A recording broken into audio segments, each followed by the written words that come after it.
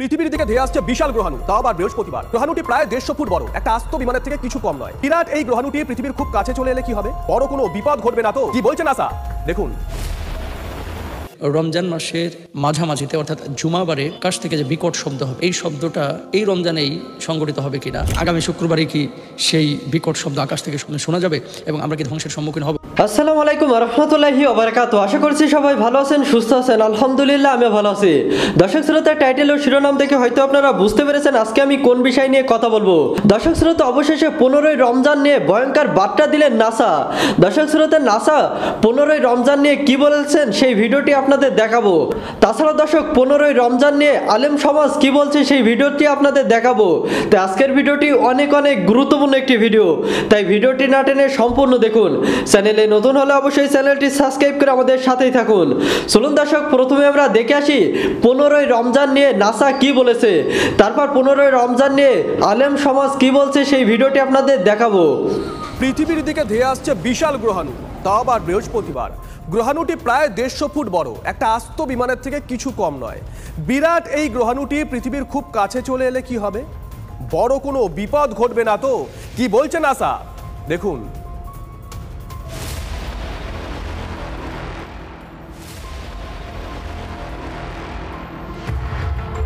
চাঁদ আর শুক্র গ্রহের কাছাকাছি চলে আসা, যার জেরে মহাকাশে আচমকায় তৈরি উল্টো চন্দ্রবিন্দু। দিন কয়েক আগেই বিরল মহাজাগতিক দৃশ্যের সাক্ষী হয়েছে গোটা বিশ্ব। সেই রেশ কাটিয়ে ওঠার আগেই এপ্রিলের শুরু থেকেই চলছে গ্রহাণুর খেল। পৃথিবীর দিকে ধেয়ে আসছে পরপর পাঁচটি গ্রহাণু। এর মধ্যে কিছু গ্রহাণু ইতিমধ্যেই পৃথিবীর কাজ ঘেঁষে চলে গেছে। কোনো বড় বিপদও ঘটেনি, কিন্তু এতেই স্বস্তির কিছু নেই। আতঙ্কের খবরটি দিয়েছে নাসা। এই পাঁচ গ্রহাণুর মধ্যে সবথেকে বড়টি পৃথিবীর কাছে চলে আসবে বৃহস্পতিবার, যার আয়তন দেড়শো ফুট। আস্ত একটা বিমানের সমান। বিরাট গ্রহাণুটি পৃথিবীর কাছে চলে এলে কি হবে বলুন তো? পাঁচটি গ্রহাণুর নামকরণ করেছে NASA. গ্রহাণু two zero two three F U six, পঁয়তাল্লিশ ফুটের গ্রহাণু। পৃথিবীর আঠারো লক্ষ সত্তর হাজার কিলোমিটার দূরত্ব দিয়ে চলে গেছে। গ্রহাণু two zero two three F S eleven, বিরাশি ফুটের গ্রহাণু। পৃথিবীর ছেষট্টি লক্ষ দশ হাজার কিলোমিটার দূরত্ব দিয়ে চলে গেছে। গ্রহাণু two zero two three F S seven, বিরানব্বই ফুটের গ্রহাণু।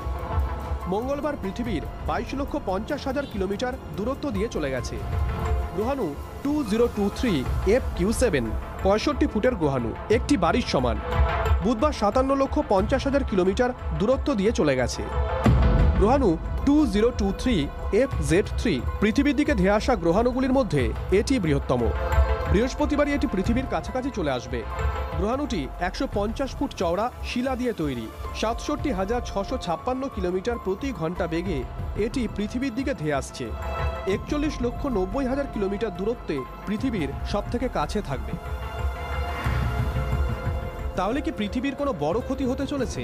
বিরাট এই গ্রহাণুর গতিবিধির দিকে নজর রাখছেন নাসার বিজ্ঞানীরা। তাদের কথায় এই গ্রহাণুর সঠিক গন্তব্য অনুমান করা কঠিন। তবে পৃথিবীর কক্ষপথের খুব কাছে চলে আসতে পারে বলে অনুমান করা হচ্ছে। দু হাজার ছেচল্লিশ সালে ভ্যালেন্টাইন্স ডেতেও ভয়ানক মহাজাগতিক ঘটনার আশঙ্কা প্রকাশ করেছে NASA. Two zero two three D W নামের একটি গ্রহাণু ট্র্যাক করা হচ্ছে, যেটি দু হাজার ছেচল্লিশে চোদ্দই ফেব্রুয়ারি পৃথিবী থেকে প্রায় এগারো লক্ষ মাইল দূর দিয়ে যাবে, যার সরাসরি প্রভাব পড়তে পারে পৃথিবীর উপর। কিন্তু তার আগেই বৃহস্পতিবার ধেয়ে আসছে বিরাট গ্রহাণু। আতঙ্ক তো জাঁকিয়ে বসবেই দর্শক শ্রোতা, আশা করছি ভিডিওটি আপনারা মনোযোগ দিয়ে দেখেছেন। এই বিষয়ে যদি আপনাদের কোনো মন্তব্য থাকে, তাহলে অবশ্যই কমেন্ট করে জানাবেন। চলুন দর্শক, এবার আমরা দেখে আসি পনেরোই রমজান নিয়ে আমাদের আলেমগণ কি বলছে। আসসালামু আলাইকুম রহমতুল্লাহি ওবরাকাতু নাহমাদুহনুসল্লি আলা রসুলহিল করিম। ওবাদ যে যেখান থেকে আমাদেরকে দেখছেন, স্টুডিও ভিত্তিক ইনডোর আলোচনায় আপনাদের সবাইকে সাদর আমন্ত্রণ জানাচ্ছি। আজকে গুরুত্বপূর্ণ একটি বিষয় নিয়ে আমরা উপস্থিত হয়েছি। আজকে আমাদের নির্ধারিত বিষয়টি হচ্ছে রমজান মাসের মাঝামাঝিতে, অর্থাৎ জুমাবারে আকাশ থেকে যে বিকট শব্দ হবে, এই শব্দটা এই রমজানেই সংগঠিত হবে কি না এটা নিয়ে যেহেতু শুরুতে একটি লেকচার দিয়েছিলাম যে চাঁদের নিচে জুলফি তারা সেটা নিয়ে অনেক মানুষকে অনেকে বিভ্রান্ত করেছে ফেসবুকে। আজকে আমরা যে বিষয়টি নিয়ে কথা বলব, আসলে হাদিসের মধ্যে আছে কি আর আমাদের সমাজের অনেক ভাইরা, ওই যে আমি বলেছিলাম যে ফেসবুক ইউটিউবে যারা অনেক বেশি পড়াশোনা করে বুদ্ধিজীবী হয়ে গেছেন, তারা এমনভাবে বিষয়টাকে উপস্থাপন করছেন যে এই রমজানেই হয়তো বা এই ঘটনাটি ঘটে যাবে, অর্থাৎ আকাশ থেকে বিকট শব্দ আসবে এবং হাজার হাজার মানুষ, লক্ষ লক্ষ মানুষ ক্ষতির সম্মুখীন হবে। আসলে হাদিসের মধ্যে আছে কি, আমরা কিতাবুল ফিতানের মধ্যে যে হাদিসটি উল্লেখ রয়েছে, সে হাদিসের কিছু অংশ আপনাদের সামনে তুলে ধরছি। দেখেন, হাদিসটি কেউ কেউ বলেছেন এটা মানে শুধু দুর্বল না, খুব বেশি দুর্বল। হাদিসের মধ্যে রাসুল আকরাম সাল্লাহ আলী আসাল্লাম বলছেন, ইয়াকুনু ফি রমাদান সাউতুন কল ফি আউয়ালিহি আউ ফি ওয়াসাতিহি আউ ফি আখিরি।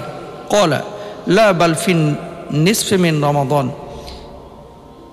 ইদা কানা লাইলাতু নিসফি লাইলাতাল জুমা ইয়াকুনু সাউতুন মিনাস সামা ইউসআকু লাহু সাবউনা আলফা ওয়া ইউখরাসু সাবউনা আলফা ওয়া ইয়াউমা সাবউনা আলফা ওয়া ইউসিম্মু সাবউনা আলফা যাই হোক ইলা আখির হাদিস সুদীর্ঘ একটি হাদিস রাসুল আকরাম সাল্লাহ আলী সাল্লামের সে হাদিসটি আলফিতানের নয়মিন হাম্মাদে ছয়শো আটত্রিশ নম্বর অংশে উল্লেখ রয়েছে।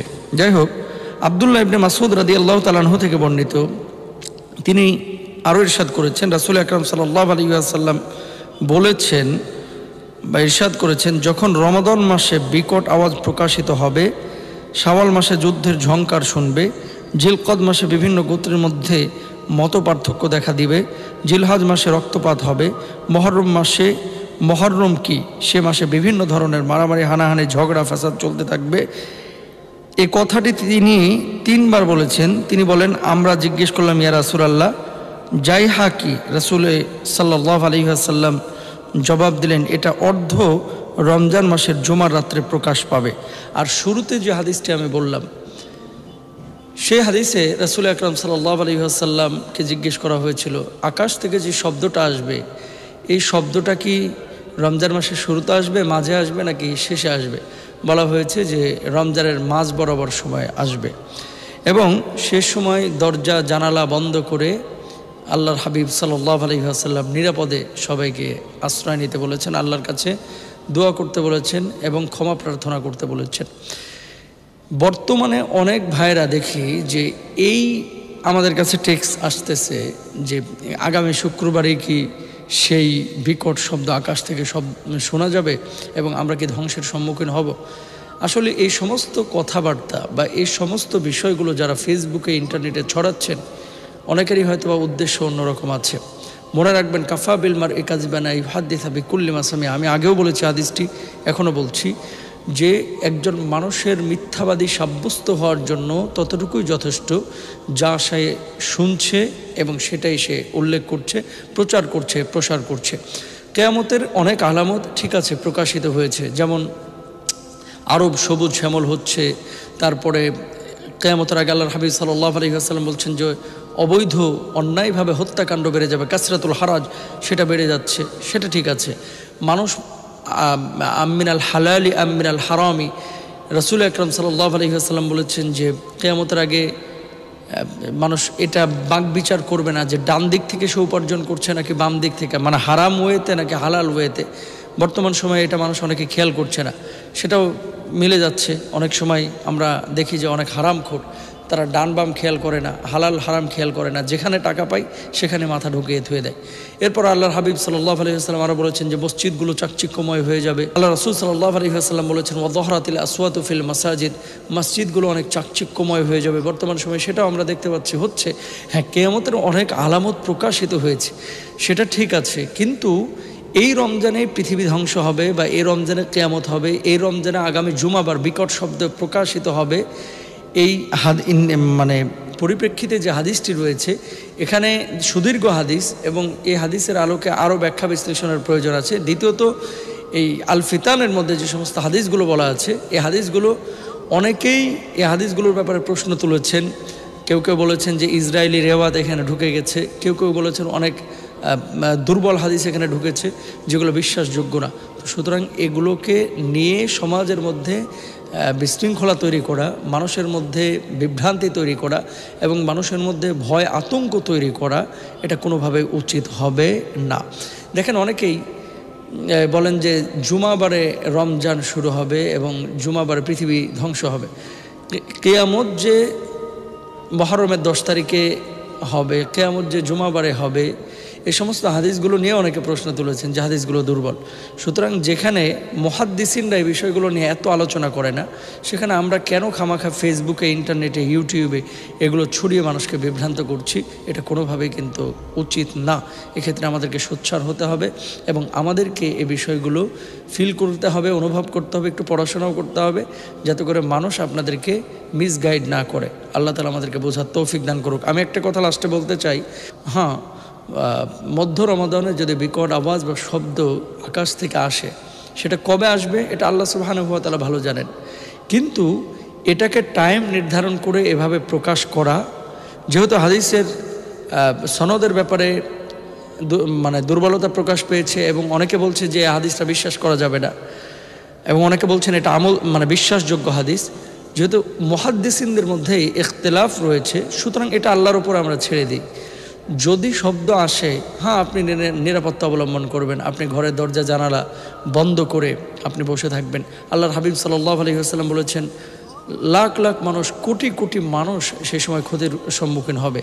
তো যদি দেখেন কখনো হচ্ছে, আপনি নিরাপত্তার জন্য আল্লাহর কাছে দোয়া করবেন তবা ইস্তেকফার করবেন, ক্ষমা চাইবেন, কিন্তু এটা নিয়ে মানুষের মধ্যে বিভ্রান্তি ছড়ানো, এটা কোনোভাবে আপনার জন্য উচিত না, আমার জন্য উচিত না। দর্শক শ্রোতা, আশা করছি ভিডিওটি দেখে আপনারা বুঝতে পেরেছেন। এই বিষয়ে যদি আপনাদের কোনো মন্তব্য থাকে, তাহলে অবশ্যই কমেন্ট করে জানাবেন। ভিডিওটি ভালো লাগলে অবশ্যই ভিডিওটিতে একটি লাইক দিবেন। নিত্য নতুন খবরের আপডেট পেতে চ্যানেলটি সাবস্ক্রাইব করে আমাদের সাথেই থাকুন। এতক্ষণ সাথে থাকার জন্য আপনাদেরকে অসংখ্য ধন্যবাদ। আসসালামু আলাইকুম রহমতুল্লাহি ওবরাকাতু